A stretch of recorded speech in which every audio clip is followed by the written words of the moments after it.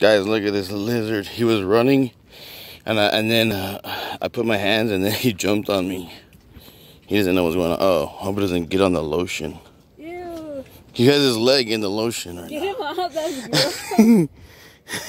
Poop on there. He's gonna make him poop.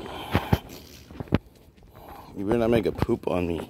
He's like, This guy, he's trained. He trained these little birds, like four little sparrow birds, and they poop on his back. But he throws them like this, like he throws them, and they always fly back to him.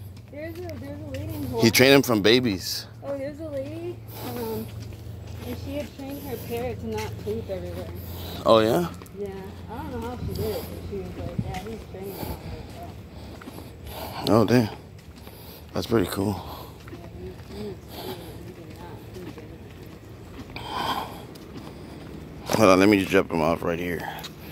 Get down, get down. He's jumping on the lotion.